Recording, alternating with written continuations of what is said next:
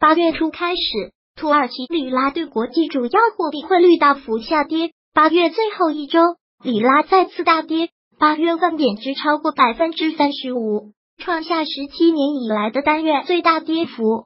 仅仅八个月，土耳其这个中东第一经济大国的 GDP 总值蒸发近半。对于里拉暴跌的原因，在土耳其有说法认为，西方势力蓄谋已久，要以金融动荡对土耳其的埃尔多安政权以猛烈打击。更主流的说法则认为，美国在八月十日宣布上调土耳其钢铁和铝产品的进口关税，而土耳其自身的经济结构原本就已经十分脆弱，无力应对外来压力。可以说，加征关税引爆了土耳其潜藏已久的经济问题。具体在货币方面，土耳其一直保持宽松的货币政策格局。在流动性投向方面，土耳其一直通过房地产和基建提升经济增速，固定资产投资增速保持多年高位。这种以投资为主的经济发展模式，依靠的正是货币的大量发行，从而令土耳其在面临外部压力时表现脆弱。另外，土耳其的外汇储备在二零一三年后不断下降，使得其汇率脆弱性加大。美元的周期波动也是里拉巨幅贬值的主要原因。越南央行也将引致目前困局的矛头指向了美元升值。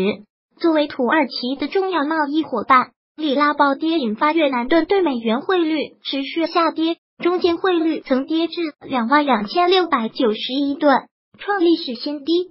除了越南，土耳其里拉大贬值的恐慌情绪也迅速传导至其他新新经济体，甚至欧元区。自二零一八年四月以来，阿根廷比索对美元已累计贬值达百分之四十六点七，五月份也曾经历一轮大幅暴跌。与此同时，南非、墨西哥、巴西、俄罗斯、印度也轮番上演股汇双杀。分析强调。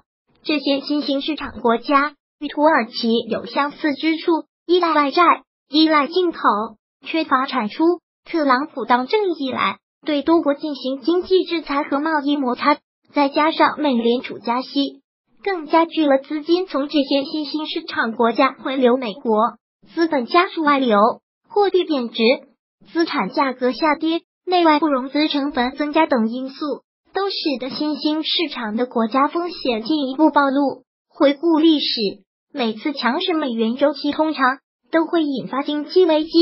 那么，本轮土耳其里拉快速下跌，是否会让新兴市场重蹈覆辙？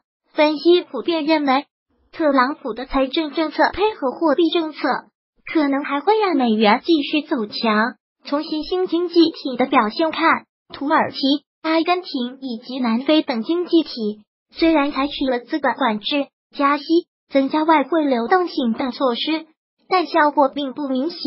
因此，未来还要持续警惕新兴市场危机。对比中土两国的经济模式，可以看出，分析认为，土耳其大量发行货币，通过房地产和基建拉动经济增长，与中国过去的经济发展模式有一定相似性。目前，房地产泡沫、金融体系风险。收入分配差距拉大，产业结构转型、人口结构老化以及外部环境的冲击等，也正考验着中国经济发展的韧性。因此，土耳其里拉为代表的这轮暴跌，值得中国警惕。在当前的情况下，稳定国内的金融市场，稳定人民币汇率，是化解危机的重要一环。近期，全球货币大幅波动。八月十六日，人民币。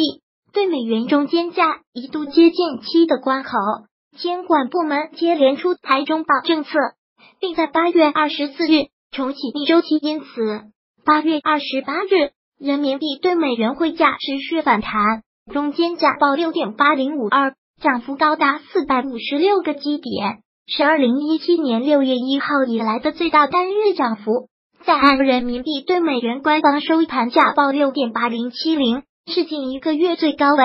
分析指出，人民币的这波升势不仅与逆周期因此持续发挥效力有关，也得益于美元指数的大跌。此外，也有分析认为，中美利差收窄正是本轮人民币贬值的主要原因。眼下，中美利差正逐步收窄，这将会逼迫资金流出，对人民币汇率构成压力。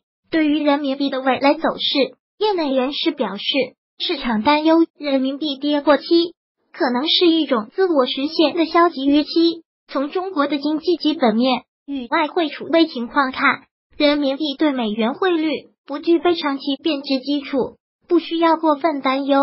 人民币对美元的汇率是中美贸易摩擦中的重要影响因素。稍早前，中国央行发布《二零一八年第二季度中国货币政策执行报告》，明确表示，人民币汇率主要由市场供求决定，中央银行不会将人民币汇率作为工具来应对贸易摩擦等外部扰动。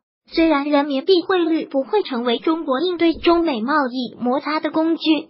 但人民币汇率受各种因素影响，中美经贸关系是其中重要一环。刚刚结束的第四轮中美经贸问题谈判也还没有拿出明晰的答案。中国外交部表示，双方已经同意就下一步安排继续保持接触。美国白宫发声明表示，双方就如何达至公平、平衡和互惠的经济关系交换了看法。贸易摩擦没有绝对的输家。也没有绝对的赢家。结合目前的态势，有经济学者认为，不打持久战是中国避免重创的上策。本文图片来自互联网编辑刘静、巴塔木。